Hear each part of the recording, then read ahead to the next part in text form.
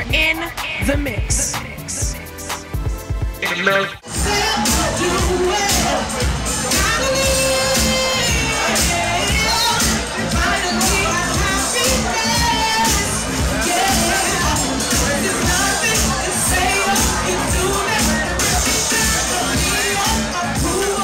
Hey, what's up, everybody? It's your girl, Miss Sugar, and you are tuned in to In the Mix TV.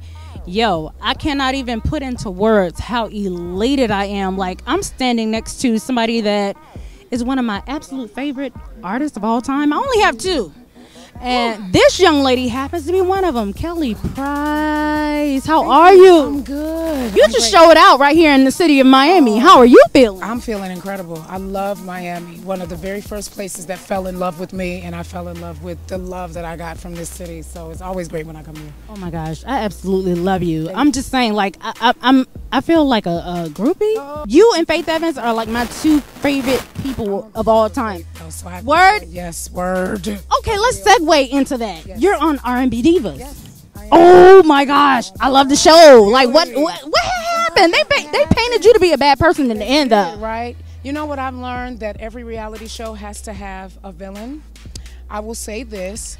If you pay really close attention, you've never seen me curse at any of the ladies. never. You've never seen me call them out of their names. You've never seen me disrespect them.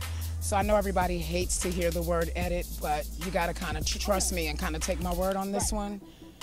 Because I, wouldn't do that, and with and respectfully, I will say that you know with it, there are some things that I can say, some things contractually that I cannot say. I get that. Um, and you know, I don't want to ruin the opportunity for some of the other ladies to come back to the show. So I can't. I, I will say that everybody's doing their job. Okay, I'm just saying this. I, I- I'm saying this much. I just want a T-shirt that says "I'm booked." Boom.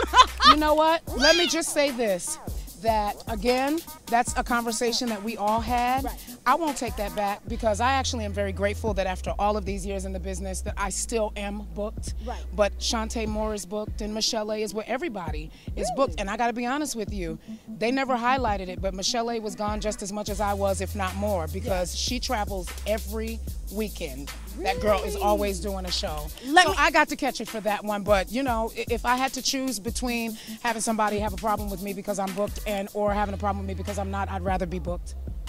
Okay, I'm just saying this much. I've been rocking with you for a very long time. Like people don't know you didn't just fall into this. You it's not happenstance or circumstance. Mm-hmm. You've been rocking for a long time musically. Like you grew up singing in the church and then by chance, you know, you were singing and then you got left behind in the rehearsal or you chose to stay behind and you just were rocking and then who? The uh Tommy To- Tommy Mottola? in the room. Mariah Carey walked in the room.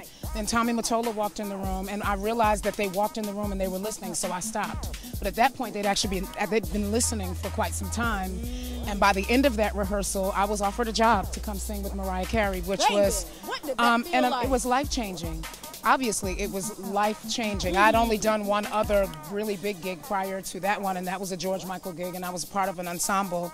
Um, but it was life changing. I never would have imagined that I would be a singer for a living, and but God knew what I didn't know.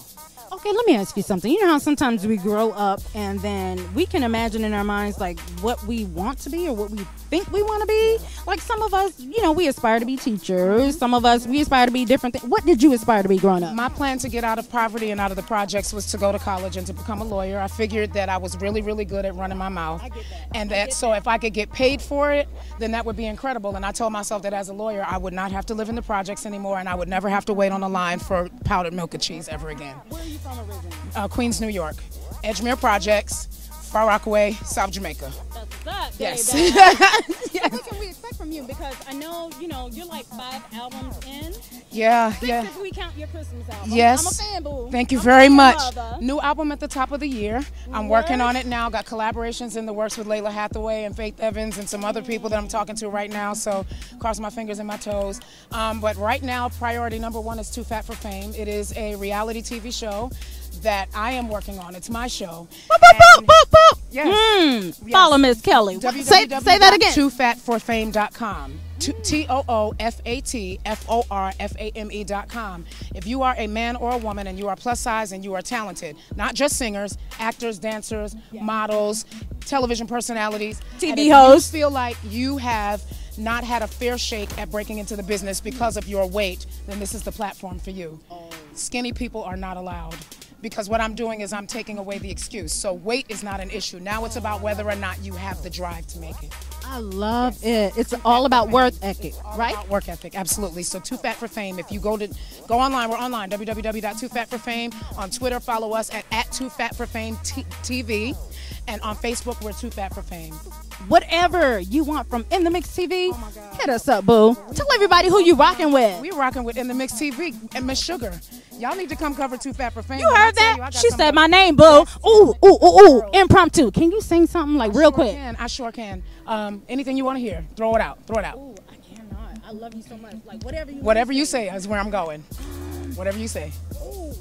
Okay, my baby. He was like, "Mommy, can you get Kelly's autograph?" I'm like, "Dude, ca- name something Kelly sing." He was like, "She did a remake of Chaka Khan's Ain't Nobody." Did love me better, can make me happy, Hey. and make me feel this way. Can't nobody love me better than you in the mix.